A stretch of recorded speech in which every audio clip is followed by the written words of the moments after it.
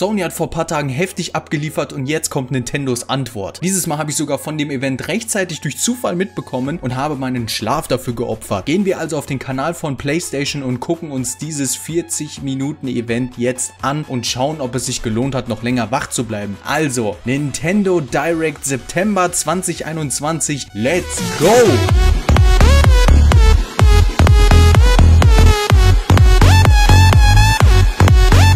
Event startet mit einem DLC zu Monster Hunter Rise und ich freue mich, dass das Franchise in letzter Zeit so viel Liebe bekommt. Aber ich bin irgendwie nie wirklich warm geworden mit Monster Hunter und eine Direct mit einem DLC zu starten ist auch ein bisschen komisch. Aber jetzt kommen wir zu meinem Jam. Mario Party. Ich habe wirklich Bock, alle meine Freundschaften mit diesem Spiel zu beenden. Es ist ein bisschen komisch, dass das Spiel nur fünf Karten hat. Ich meine, das sind alles nur geremakte Karten vom N64. Da hätte man ruhig ein paar mehr raushauen können oder siehst du das etwa anders, Mr. Ubisoft? Ubisoft. Weiter geht's mit Anime-Kartenspiel. Ich bin hier vielleicht allein, aber meiner Meinung nach ist Yu-Gi-Oh! das einzig relevante Kartenspiel. Change my mind.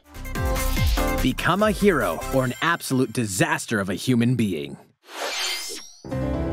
Disco Elysium auf der Switch für viele ja Game of the Year 2019 gewesen, was ich krass finde. Rein vom Gameplay sieht es mega langweilig aus, aber das soll ja ein ultra deepes Rollenspiel sein, wo es glaube ich auch wirklich ums Rollenspielen geht. Weiß nicht, ob das was für mich ist, aber ich werde es safe mal ausprobieren. Vielleicht ist es ja sowas wie Hades, wo ich mir auch nicht sicher war, ob das was für mich ist und ja, das war etwas für mich. Good night, girl.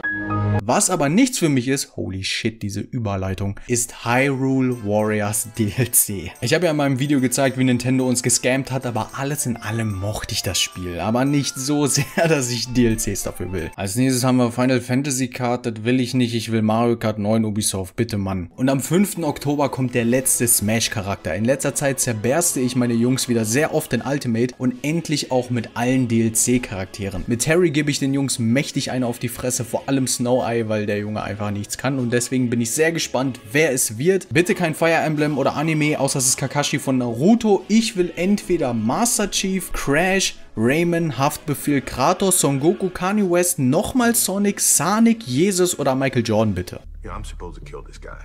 You know, I'm supposed to dominate this guy. And from that point on, I did. Und hier kam die erste große Ankündigung und Überraschung. Nicht nur, dass es ein neues Kirby-Spiel gibt, nein, es ist sogar ein 3D-Kirby. Ich glaube, das ist das allererste 3D-Kirby, oder? Ich bin nicht der größte Kirby-Fan, ich habe nur das gezockt, aber das jetzt auf der Switch sieht sehr bunt, lebendig und spaßig aus. Ich warte da sehr gespannt drauf, was ich nicht zum Animal Crossing-Content sagen kann. Ich hatte zum Release sehr viel Spaß mit dem Game. Viel zu viel, um genau zu sein. Ich weiß auch nicht, wie, wie ich so viele Stunden da reingepumpt habe, aber nach so zwei Monaten hat es mich verloren und bisher konnte es mich auch nicht mehr zurückholen, auch nicht mit dem Last of Us Update. So, was haben wir noch? Äh, Ma Mario Golf, ja, Wayne, äh, Game of the Year, nice. Und Star Wars KOTOR auf der Switch. Ich muss sagen, das wäre wesentlich cooler gewesen, wenn jetzt nicht ein Remake angekündigt worden wäre. Also danke, aber nein danke, ich warte aufs Remake. Und dann kam Sterbendes Licht 2 Bleib Mensch Wolkenversion und ich wollte als Vorbereitung für Teil 2 endlich mal Teil 1 nachholen und habe dafür dann diesen Vollidioten hier gefragt und wir haben angefangen, das im Koop zu zocken und ich muss wirklich sagen, ja, ich muss wirklich sagen, das ist gar nicht mal so gut.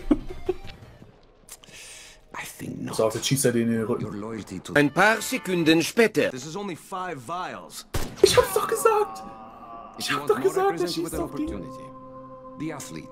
Das ist so vorhersehbar. Ich weiß, Dying Light hat eine krasse Fanbase und ich will hier niemanden angreifen, aber ich, ich fand's echt kacke. Hoffen wir mal, dass der zweite Teil besser wird. So, Pixel, Anime, Game und Metroid Dread. Nintendo haut die Marketing-Trommel dafür hart und ich feiere es. Ich werde es wahrscheinlich nicht zum Release spielen, weil ich arm bin, aber irgendwann werde ich es spielen und es wird mein erstes 2D-Metroid sein und ich hoffe, es wird gut und verkauft sich gut. Es ist immer cool, noch anderen Stuff als Mario zu sehen und damit kommen wir wieder zu Mario. Mario 64, um genau zu sein. Der Nintendo Switch Online bekommt mit einem neuen Modell N64 und Sega Genesis Spiele. Ja, I see what you did there, Mr. Ubisoft. Ubisoft. Ja, und deswegen war wohl das 3D-Bundle nur für kurze Zeit verfügbar, damit man Mario 64 jetzt wieder als Kaufgrund nehmen kann, ne? Aber es ist cool, dass N64-Spiele jetzt kommen. Nintendo verkauft sogar die originalen Controller wieder. Die haben sogar Wireless und das ist schon ziemlich cool und ich hoffe, wir kommen noch bei GameCube und Wii an, aber Mal abwarten. Nach der Ankündigung kamen ein paar Spiele, die niemanden jucken. Ein Remake von irgendeinem Game, von dem ich nie gehört habe. Also interessiert es niemanden auf diesem Planeten, weil ich der Mittelpunkt der Erde bin. Und Undertale 2. Ich muss zugeben, das habe ich den ersten Teil jetzt auch noch nicht gezockt. Aber es steht auf meiner Liste und Miyamoto ist da. Mit der Ankündigung für den Mario Animationsfilm, der nächstes Jahr kommen soll. Wusste man Warum, warum wusste ich das nicht? Chris Pratt ist Mario, Jack Black Bowser, Keegan Michael Key Toad und Seth Rogen Donkey Kong. Even though this is a Mario movie, Donkey Kong will also be making an appearance. He will be played by Seth Rogen. Seth Rogen humorous Donkey Kong. Wird besser als Pulp Fiction und Inception. Safe Call. Dann kam noch ein Trailer zu Splatoon 3. Ja, kann, kann ich nicht viel zu sagen, aber die letzte Ankündigung ist nochmal ein Banger.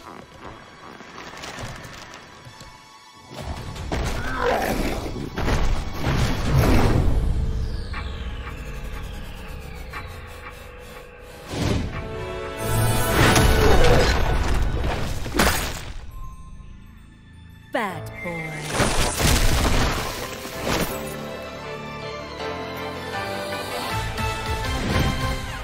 Nachdem Bayonetta 3 2017 bei den Game Awards angekündigt wurde, hat man nie wieder was davon gehört. Platinum Games meinte zwar die ganze Zeit, dass die Entwicklung gut vorangeht, aber warum hat man da nichts gesehen, Kollegen? Hä? Ich war mir ziemlich sicher, dass das Game in der Entwicklungshölle ist, aber da ist es und es sieht gut aus. Jetzt muss ich wirklich den zweiten Teil noch nachholen und dann geht's los, Mann. Und das war die Direct und das, das Ey, das war ziemlich gut, ja. War zu erwarten, dass wir kein neues 3D-Mario sehen werden oder was zu Wild of the Breath 2, aber das ist okay.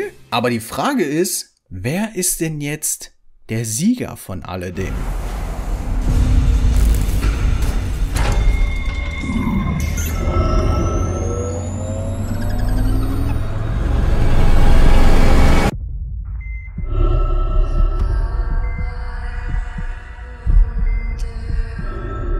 Final Fantasy Card GG.